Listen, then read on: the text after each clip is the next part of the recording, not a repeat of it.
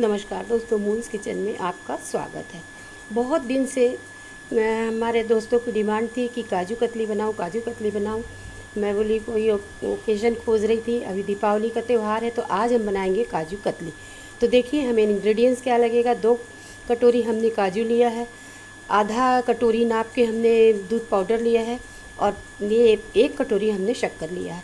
और एक चांदी का बर्क है, जिसको लगा के हम उसको चांदी के बर्क को हम ऊपर से लगाएँगे। तो चलिए, अब हम बताते हैं कि इसको हम कैसे बनाते हैं। हमने दो घंटे काजू को फ्रीज़र में रखा था, फ्रीज़र से निकाल के। अब हम उसको पल्स में पीसेंगे। बहुत ज़्यादा इसको नहीं पीसना है, नहीं तो इसका जो इसमें ऑयल रहता है वो रिलीज़ हो जाता है। तो चलिए पल्स में पीस के फिर हम दिखाते हैं इसका पाउडर बना के। देखिए दोस्तों, मेरा इतना पाउडर बन के तैयार हो गया। इस थाली में हमने चलनी से छान लिया, आटे की छन्नी से हमने इसको छान लिया है। और एकदम बारीक पाउडर बना लिया है।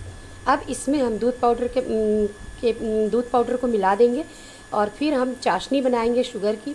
शक्कर आप कम, ज़्यादा कुछ भी अपने अंदाज से रख सकते हैं। टू द टेस्ट होगा, शुगर जो है, उसमें हम लोग कम खाते हैं तो मैं कम शक्कर डाल रही हूँ। आप इग्नोर करेंगे, मेरे यहाँ पंप चल रहा है, पंखा चल रहा है, गर्मी बहुत है। हमने पंखा चला, उसकी आवाज़ आ रही तो उसके लिए हम, मैं क्षमा प्रार्थी हूँ। तो चलिए, अब हम इसका ये बर्फ़ी बना के दिखाते हैं, काजू कतली बना के देखिए दोस्तों, जितना हमने शक्कर डाला है, एक कटोरी, और एक कटोरी पानी डाल के हमने मोटी तले की कढ़ाई में इसको शुगर सिरप बनाने के लिए रख दिया है। मेरा कैमरा बीच में ऑफ़ हो गया था तो मैंने शक्कर डालते हुए और पानी डालते हुए नहीं दिखा पाई, क्लिप को आपको नहीं दिखा पाई, इसके लिए सॉरी। तो एक कटोरी शक्कर और एक कटोरी पानी डाल के हम इसका शुगर सिरप बनाएँगे। चाशनी दो तार की नहीं रहेगी, एक तार की चाशनी रहेगी और एक तार की चाशनी में ही हम उस पाउडर को अच्छे से डालेंगे और बाद में हमें एक चम्मच शुद्ध घी की ज़रूरत पड़ती है, जो कि वो बाद में डालेंगे। उसको हमने, इसलिए मैं उसको नहीं दिखाई हूँ आपको।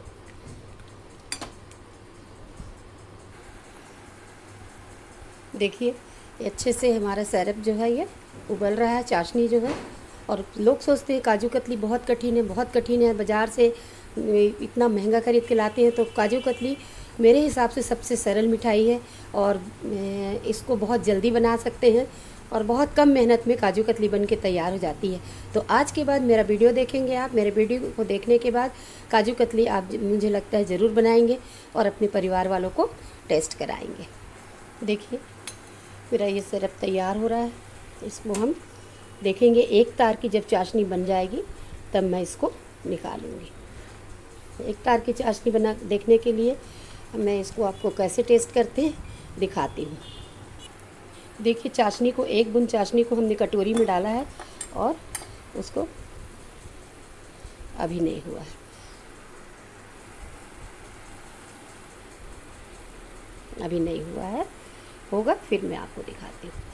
अब मेरी चाशनी थोड़ी सी चिपचिपी हुई है, अब मैं इसमें डालूँगी पाउडर को। तो चलिए पाउडर डाल के आप देखिए दोस्तों, हमने पाउडर को डाल दिया है। अब इसको आँच को हमने धीमा कर दिया है और चारों तरफ़ से अब हम इसको पकाएँगे। अब इसमें मैं एक चम्मच घी डालूँगी। घी मैंने आपको इसलिए नहीं दिखाया कि इसको मुझे बाद में डालना है। तो अब मैं एक चम्मच घी डाल के आपको दिखाती हूँ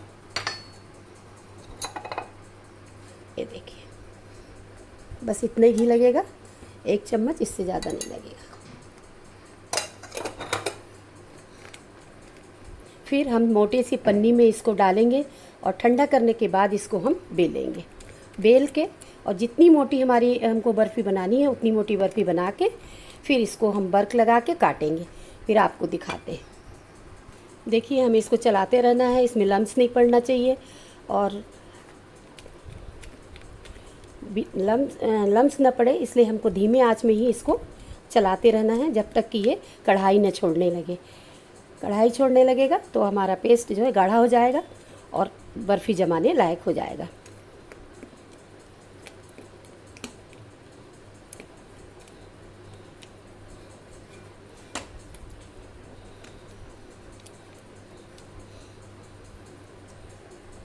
बहुत दिनों से काजू पर कतली बनाने के लिए मेरे पास बोलती थी, मेरी फ्रेंड्स लोग तो मैं नहीं बना पाई थी। मैं बोली, चलो, अभी वोकेज़न भी अच्छा है। तो मैं बना के और इसको दिखाती हूँ। इसको लम्स ना पड़े और अच्छा इसको पकाएँगे। हम पकाने के लिए हमें धीमी आँच की ज़रूरत है, तेज़ आँच में जल जाएगा, जलने के बाद इसका स्वाद जो है वो ख़राब हो जाए देखिए दोस्तों, हमारा पेस्ट काफ़ी गाढ़ा हो गया है, कढ़ाई छोड़ने लगा है। बस थोड़ी देर बाद हम इसको ठंड, निकाल के और एक पेपर एक, पेपर में रख देंगे इसको ठंडा होने के लिए।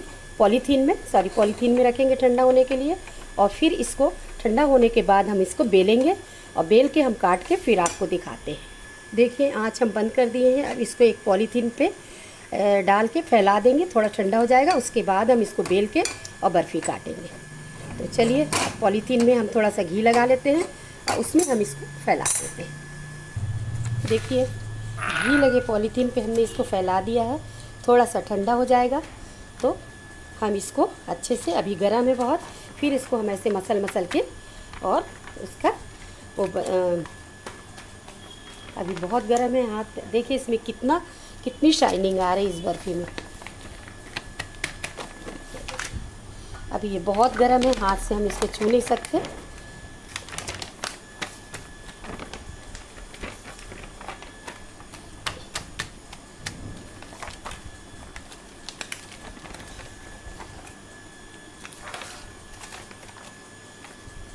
अब आप देखिए दोस्तों, जितनी थिक होनी चाहिए, उतनी मोटी हमने बेल ली है। अब इसमें हम चांदी का बर्क लगा के और इसमें कटिंग कर लेते हैं। कटिंग करने के बाद थोड़ी देर सूखने देंगे, फिर बर्फ़ी को डिश आउट करके फिर हम आपको दिखाते हैं। अब हम इसमें तेज़ धार वाली चाकू से कटिंग करेंगे और चांदी का बर्क लगाएँगे। देखिए दोस्तों, मैंने चांदी का बर्क लगा दिया है। अब इसका मैं कट कर लूँगी डायमंड शेप में और कट करके फिर आपको दिखाती हूँ। देखिए दोस्तों, दो कटोरी काजू में मेरा इतना सारा काजू कतली तैयार हो गया। करीब आधा किलो से ऊपर काजू कतली हो गई है।